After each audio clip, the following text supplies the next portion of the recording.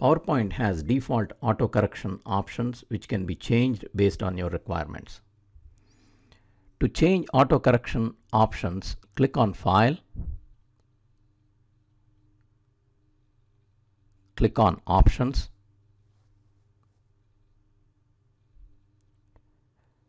click on Proofing tab,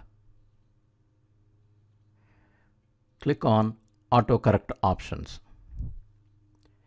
You can see the default autocorrection options. First two letters are capital, it will correct and make the second letter as small.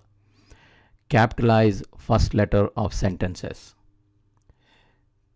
Capitalize first letter of table cells. Capitalize names of days. Correct accidental usage of caps lock. These are self-explanatory and you can change any of these based on your requirements. Replace text as you type. You can see PowerPoint default list of words that will be replaced with.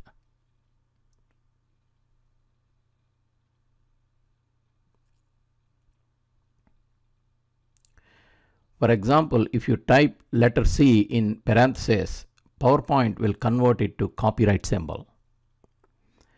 You can type any word to replace and give the word to replace with. Click on add and it will be added to the list.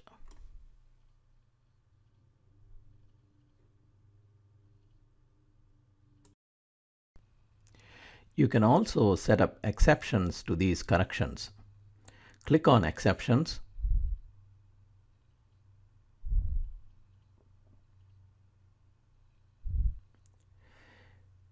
Under first letter tab, you can see ABBR dot, which means abbreviation, or ACCT dot, which means account.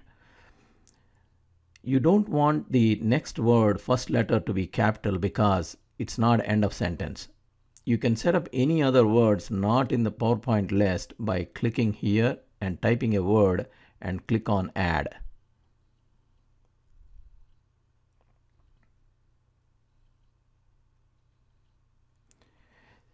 Similarly, click on Initial Caps. You can see PowerPoint has default word IDs which will not be corrected. You can enter any other word you don't want PowerPoint to correct. For example, CVs. Click on Add and the word is added.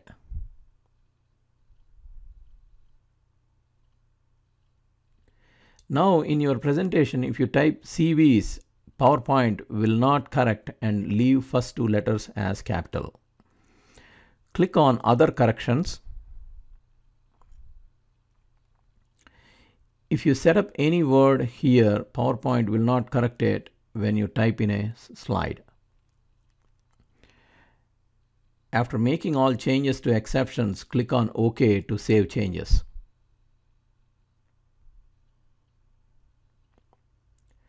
Now click on auto format as you type.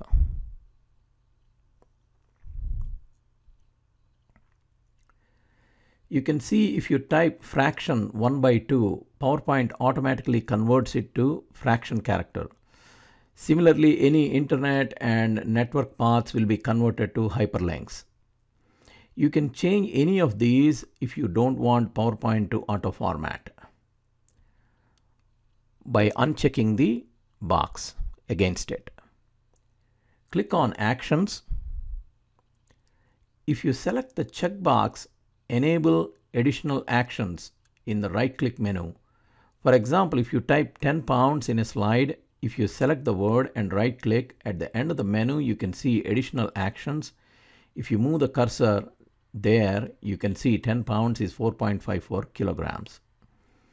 Click on OK to save changes. Click on autocorrect options. Click on math autocorrect. Replace text as you type. You can see the default list supported by PowerPoint. You can also add any new ones you want to replace. After making the changes, click OK to save changes.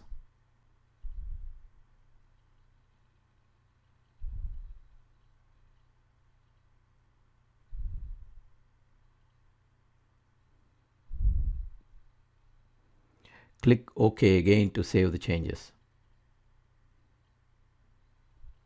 Here is an example for actions.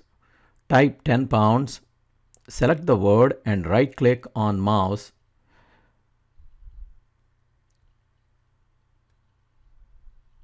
You can see additional actions and see the converted value 4.54 kilograms. If you like this video, please subscribe to our channel.